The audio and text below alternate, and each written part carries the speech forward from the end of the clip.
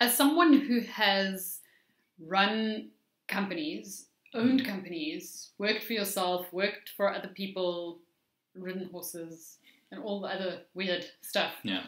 I want to talk a little bit about skill gaps or knowledge gaps that you feel that you've experienced when people join a Mm. company, work for you that you've employed or worked with, Mm. Where they come from a predominantly finance background or accounting background and then move into a commerce role, corporate role, Yeah. when they think, oh, I'm a qualified accountant, so I'm I can go and be financial director Mm. tomorrow. I can go be CFO tomorrow. What's missing? The ability to plan towards goals and then create a project plan Right. and work towards that. Um, you know, to develop a project plan.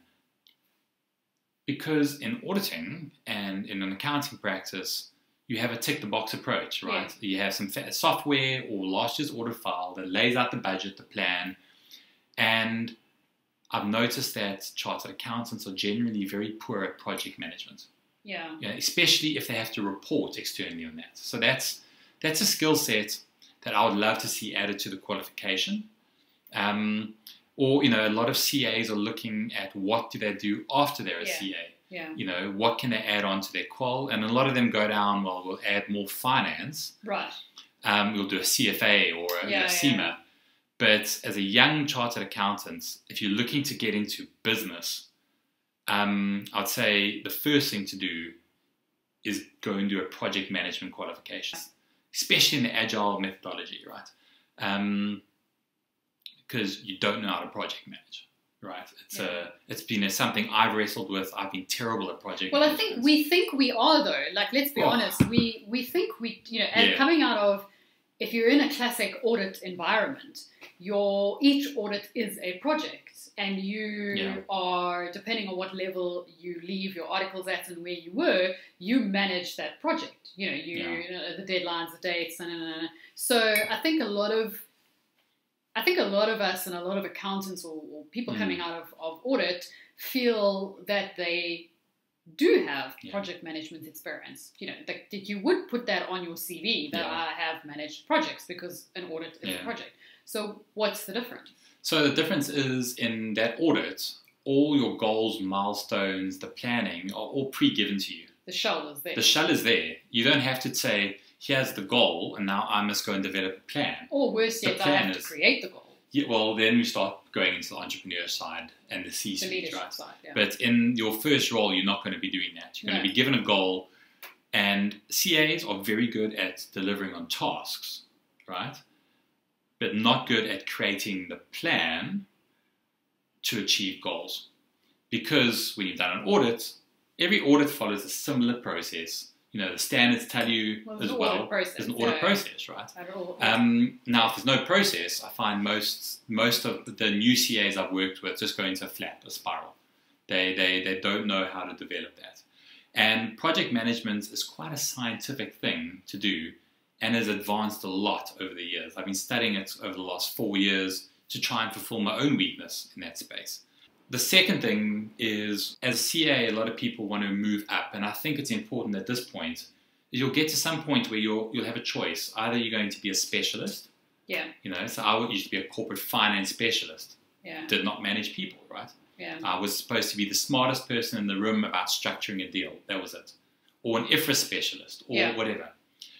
But if you want to move up to, you know, to an FD or a CFO level, or moving out into an ops manager Or at any C level or Yeah. any senior management level, you're going to have to learn to lead yeah. um, you know, the rules and policies do not set culture, you know. No. And the human psyche is something that all of us can learn, whether you're a CA or whether you're an MBA.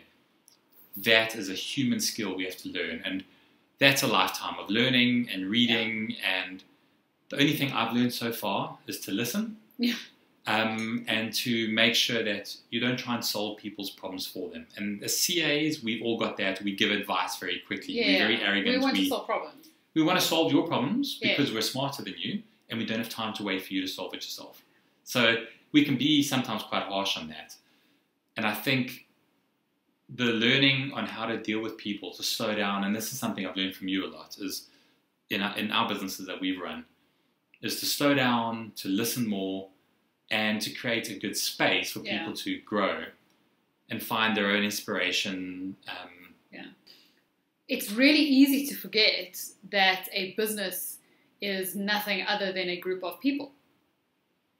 Yeah. You don't, you know, you don't deal with a company. You deal with people.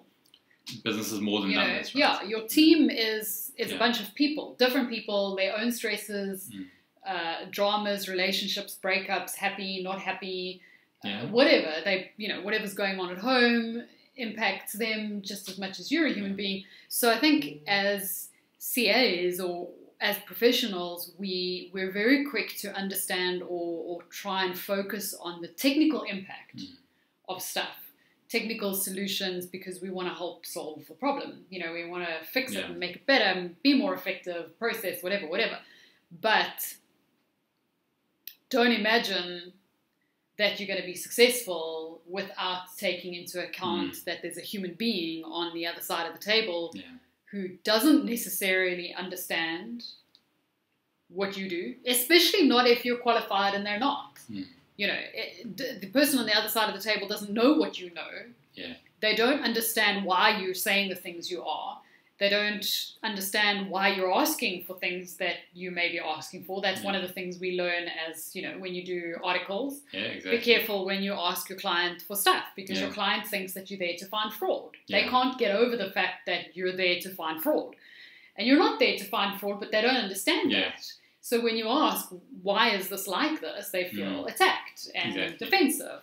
So you do learn people skills Yeah. in articles because you learn how to get information from people Mm. who don't understand what you want, don't know why you grudge anyway, they don't like you, Mm. really shove you in a corner somewhere with no aircon. um, so there are people Throw skills. food at you once day. Yeah. Throw well, really? You got food thrown at you? Well, someone had to. Nobody threw food at me. yeah, we audited, audited a food company. So oh, clearly I did the wrong audit because I had to bring my own food.